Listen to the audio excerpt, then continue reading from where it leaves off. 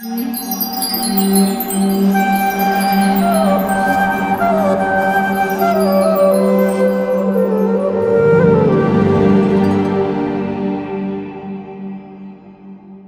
कृष्णा, पूर्ण प्रश्न, पूर्ण उत्तर, आपकी जिज्ञासाओं का अंतिम पड़ाव कार्यक्रम में आपका स्वागत है। आज आपके प्रश्नों का उत्तर श्रीमान अमरेंद्र प्रभु देंगे। अमरेंद्र प्रभु, अंतर्राष्ट्रीय कृष्ण भावनामृत संघ के संस्थापक आचार्य अभय चरणा रविंद्र भक्ति वेदांत स्वामी, श्री प्रभुपाद के प्रिय शिष्य, परम पूज्य राधा गोविंद महाराज के शिष्य है। मैसेच्यूसेट्स यूनिवर्सिटी से अमरेंद्र प्रभु ने इलेक्ट्रिकल इंजीनियरिंग में मास्टर्स किया है, तथा Mayapur institute of higher education से भक्ति शास्त्री भी किया है। अमरेंद्र प्रभु विश्व के अनेक शहरों तथा विश्वविद्यालय, मंदिरों भक्ति वृक्ष में प्रचार करते हैं तथा यूट्यूब व्हाट्सएप और फेसबुक के माध्यम से भी कृष्ण भावनामृत का बड़े ही सुंदर रूप से प्रचार कर रहे हैं। तो आइए, आज हम इस कार्यक्रम का सबसे पहला प्रश्न लेते हैं। मैं विनोद सहानी हरिद्वार से बोल रहा हूँ। हमारे आचार्य जैसे बारह महाजन, ध्रुव महाराज, प्रहलाद महाराज आदि वे सब श्री विष्णु की भक्ति करते थे। लेकिन हमें गौड़ी संप्रदाय में बताया जाता है कि श्री कृष्ण सबसे महान है तो हम जैसे जीव जो श्री कृष्ण की भक्ति करते हैं, क्या उन पूर्व आचार्यों तथा महाजनों से बड़े हैं जो श्री विष्णु की भक्ति करते थे? कृपया संशय दूर करें। हरे कृष्णा। तो श्रीमद् भागवतम में बारह महाजन का उल्लेख है। स्वयंभू, नारद, शंभु, कुमार, कपिल, मनु, जनक, प्रहलाद, भीष्मो, बलि वैया सखी वयम। तो ऐसे बारह महाजन का उल्लेख है, स्पष्ट रूप से। तो ये महाजन कहलाते हैं।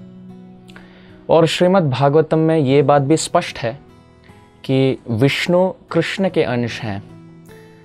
अधिक से अधिक लोग ये धारणा रखते हैं कि विष्णु सबके उद्गम स्थान है, स्रोत हैं, और कृष्ण उनके एक अवतार हैं और दश अवतार में से एक हैं। पर नाना प्रकार के ऐसे प्रमाण हैं शास्त्र अनुसार जहाँ ये स्पष्ट रूप से जाना जा सकता है कि कृष्ण सबके स्रोत हैं। जैसे कि ब्रह्म संहिता के पाँचवें अध्याय के पहले श्लोक में, ब्रह्मा जी, जो इस भौतिक स्तर के सृष्टिकर्ता हैं, वो बताते हैं, ईश्वर परम कृष्ण सच्चिदानंद विग्रह, अनादिर आदिर गोविंद सर्व कारण कारणम तो पहले लाइन में बताते हैं ईश्वर परम कृष्ण। कि सभी ईश्वर हैं, सभी थोड़े फॉर्म में कंट्रोलर हैं, पर पूर्ण रूप से परम कंट्रोलर, परम ईश्वर कृष्ण है। उसी प्रकार पुराण में एक बहुत सुंदर प्रमाण है, जहाँ शिव जी पार्वती को कहती हैं, कहते हैं कि आराधना नाम सर्वेशा विष्णु आराधनम परम।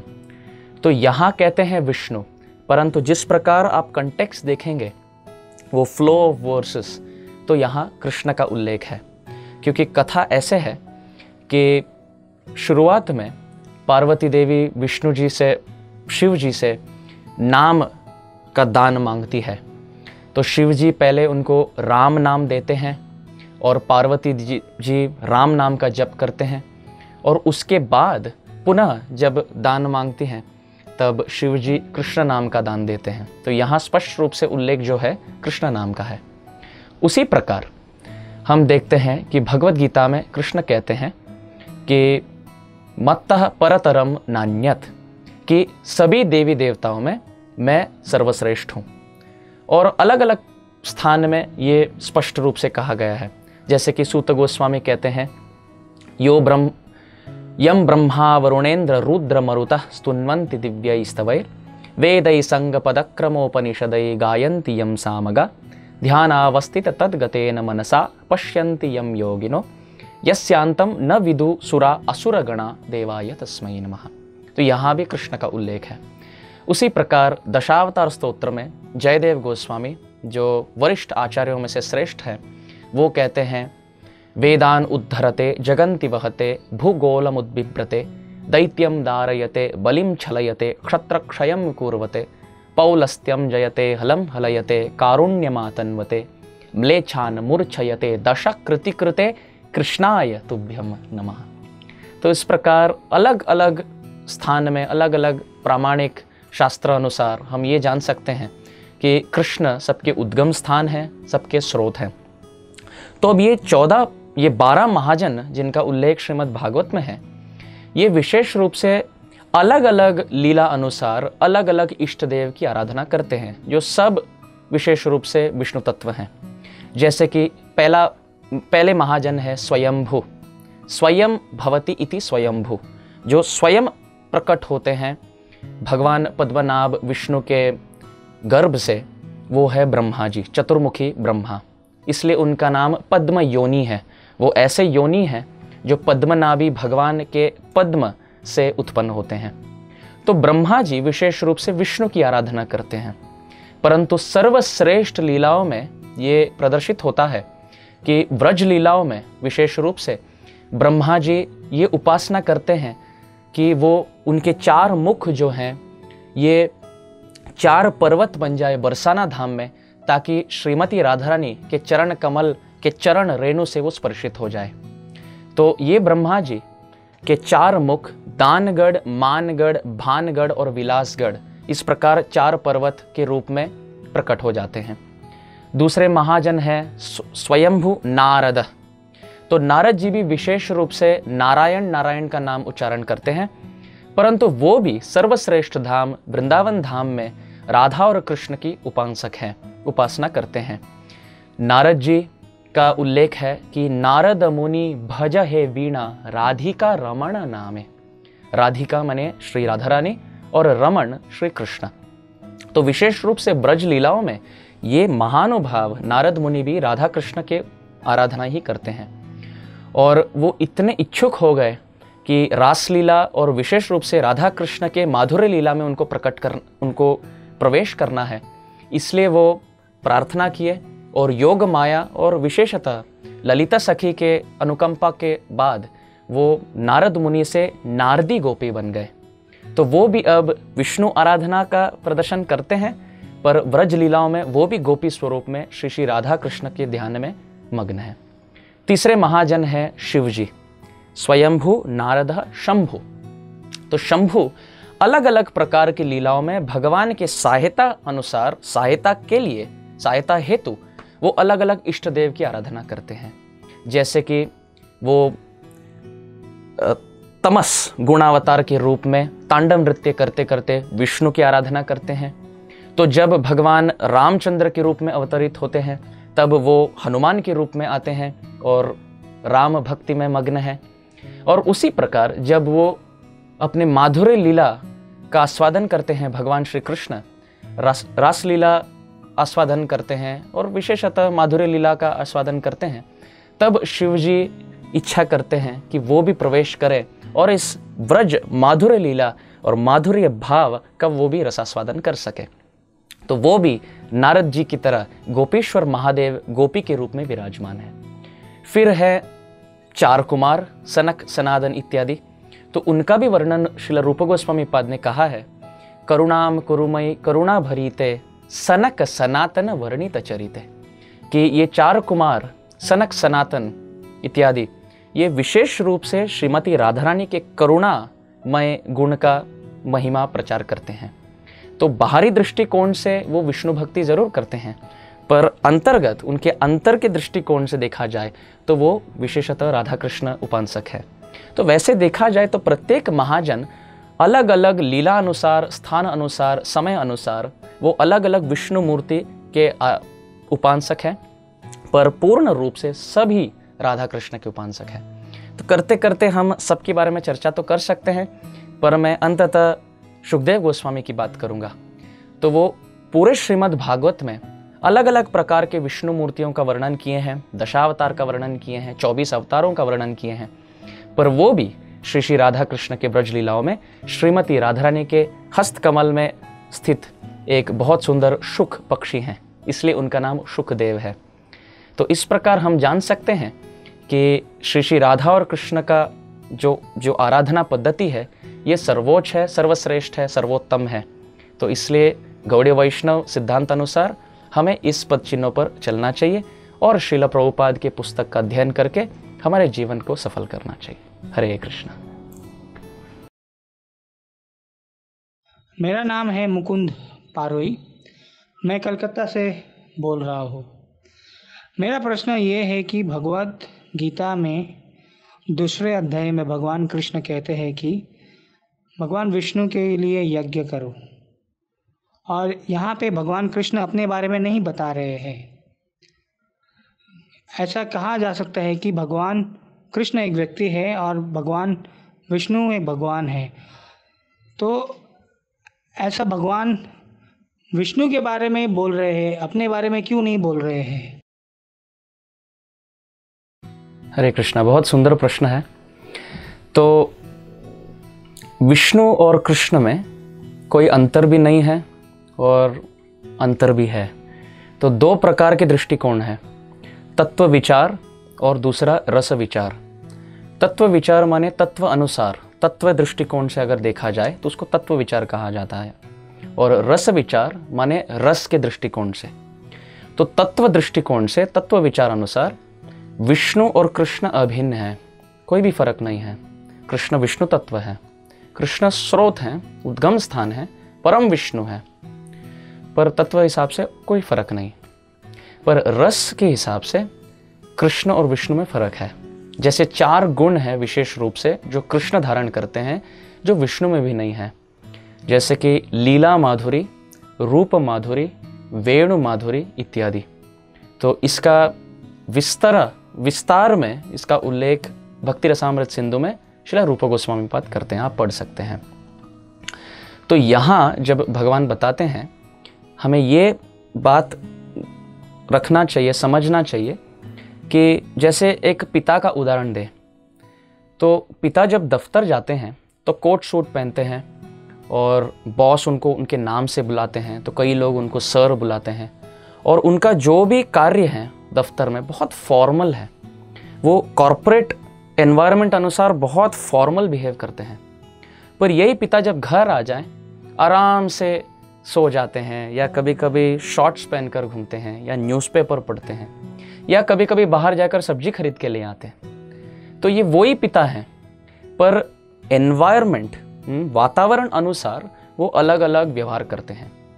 तो वो साइड जो है पिता का जो कार्य करते हैं जो दफ्तर में क्रियाशील होकर कार्य करते हैं भागवत तत्व अनुसार वो विष्णु है। भगवान के हिसाब से अगर देखा जाए वो साइड ऑफ़ भगवान जो सृष्टि बनाते हैं सृष्टि करता हैं सबके उद्गम स्थान है और जिनके श्वास मात्र से सब कुछ चलता है, वो जो कार्य करता है, वो विष्णु है। पर क्रीड़ा करता जो हैं लीला करता जो हैं, जो आराम से रस आस्वादन करते हैं, अपने निजी परिकर के साथ लीला रचाते हैं, वो कृष्ण है। तो हमारे भौतिक उदाहरण अनुसार पिता का उदाहरण ठीक है। जिस प्रकार पिता खुल के जीते हैं अपने घर में वो फॉर्मल नहीं बनते इनफॉर्मल रहते हैं, कहीं भी सोफा में सो जाते हैं। उसी प्रकार कृष्ण वृंदावन में और कृष्ण लीला में कृष्ण खुल के जीते हैं। जैसे कभी कभी मृद भक्षण कर लिए, या कभी कभी चोरी कर लिए, माखन चुराए तो भगवान तो माखन नहीं चुरा सकते तत्व अनुसार पर रस अनुसार भक्त को संतुष्टि प्रदान करने हेतु तो वो माखन चुराते हैं, या मृद भक्षण करते हैं, या जो भगवान विष्णु के रूप में मुक्ति प्रदाता हैं। वो खुद अपनी मुक्ति के लिए याचना करते हैं दामोदर स्वरूप में।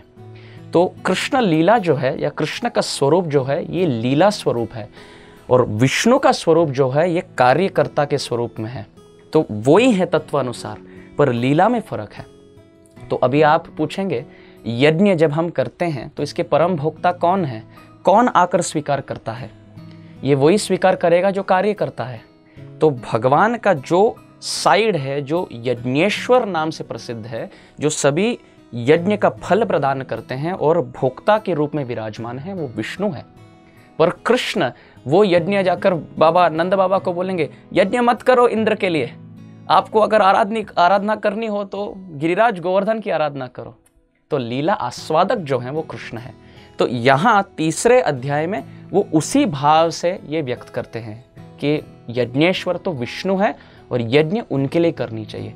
तत्व अनुसार अभिन्न रस अनुसार भिन्न।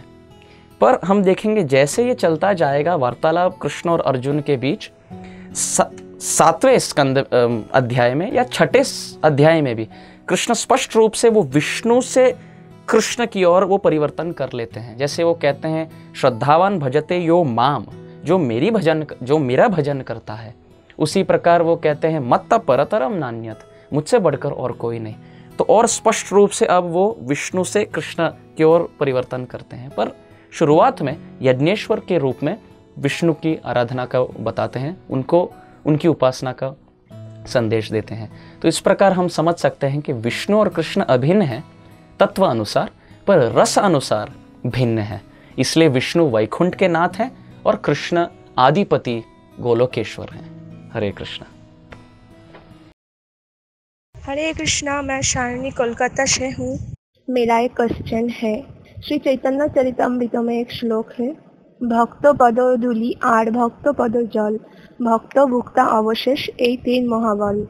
ये श्लोक का इनर मीनिंग क्या है? हरे कृष्ण। भक्त पद धूलि आर भक्त पद जल, भक्त भुक्त अवशेष, तीन महाबल। चैतन्य चरितमृत में कहा गया है कि भक्त पद धूलि, भक्त पद जल, भक्त भुक्त अवशेष, तीन महाबल। कि भक्ति में अगर प्रगति करनी हो तो ये तीन सरल मार्ग हैं जहाँ से हम भक्ति कर सकते हैं और भक्त के आशीर्वाद को पा सकते हैं। जैसे भक्त पद धूलि, भक्त के चरण कमल से चरण रेणु लेना और पूर्ण शरीर में उसको स्पर्श करना, उनको नमन करना, दंडवत देना, ये पहला अंग है। दूसरा पद धूलि पद जल माने उनके जो शुद्ध वैष्णव है, गुरुजन है, उनके चरण अमृत को पीना, पान करना। और भक्त भुक्त अवशेष, तीसरा है उच्चिष्ट भोजन। उन्होंने लिया हुआ प्रसाद ग्रहण करना, महाप्रसाद के रूप में। तो ये तीन बहुत सरल ऐसे उपाय हैं, जिससे हम प्रगति कर सकते हैं। पर इसका एक बहुत इंटरनल मीनिंग भी है। जिस प्रकार आपने स्पष्ट रूप से कहा कि भक्त पद धूली माने भक्त जैसे चलते हैं, उस पद धूलि का अनुगमन करना, माने उनके जो शिक्षाएँ हैं, उपदेश है, उसको हमारे जीवन में उतारना। ये पहला है। ये एकदम इंटरनल मीनिंग है। अंदरूनी दृष्टिकोण से अगर देखा जाए, ये वास्तविक अर्थ है। उनके जो भी शिक्षाएँ हैं, उपदेश हैं, उनको जीवन में उतारना और उनको बहुत महत्वपूर्ण रखना। पद जल इसका अर्थ यह है कि वो जो भी हरी कथा देते हैं, भगवान के बारे में जो भी वो वर्णन करते हैं, इस रस को अपने कर्ण इंद्रियों से पान करना। इसलिए भागवत को कहा गया है, पीबत भागवत रसम आलयम। भागवत का जो रस है, उसको पीना चाहिए कर्ण इंद्रियों से। हमारे कर्ण इंद्रियों से जब शुद्ध वैष्णव के श्रीमुख से उदित इस भागवत का रसपान करते हैं, तब हमारे अंतर्गत भक्ति जागृत होती है। तो ये दूसरा है। और तीसरा, भक्त, भुक्त अवशेष तीनी महाबल। माने उन्होंने भगवान के प्रति जो प्रीति, जो आसक्ति, जो अगाढ़ प्रगाढ़ आस्था, जो उत्पन्न की है, उसका लेश मात्र अगर हम स्वाद करें, जैसे कि वो भाव जो भगवान के प्रति रखते हैं, उससे प्रेरणा लेकर अगर हम उसके एक छोटे से एक एटम जैसे एक परमाणु लेश मात्र वो ले वो भाव उनके हृदय से और उसको हमारे जीवन में उतारें। उनसे सीख लें उनसे प्रेरणा लें प्रोत्साहित होकर भक्ति में आगे बढ़े ये तीसरा अंग है। तो बाहरी दृष्टिकोण से उनका प्रसाद और अंदर से उनका जो भगवान के प्रति जो प्रीति है जो भाव है इसका रसपान करना। तो उसी प्रकार भक्त पद धोली भक्त पद जल भक्त भुक्त अवशेष तीन महा ऐसे गौण और आ, मुख्य ऐसे दो अर्थ हैं। हरे कृष्ण। इसी के साथ हमारा आज का कार्यक्रम समाप्त होता है। यदि आप भी हमें आध्यात्मिक प्रश्न पूछना चाहते हैं तो कृपया करके अपना प्रश्न आपके नाम तथा स्थान के साथ ऑडियो या वीडियो मैसेज के रूप में व्हाट्सएप के माध्यम से नौ नौ आठ सात शून्य छः शून्य छः शून्य छः पर भेज सकते हैं और आप हमें आपका प्रश्न ask H K TV at the rate Gmail dot com पर भी ईमेल कर सकते हैं। आपके सभी प्रश्नों का उत्तर अवश्य दिया जाएगा। धन्यवाद। हरे कृष्ण।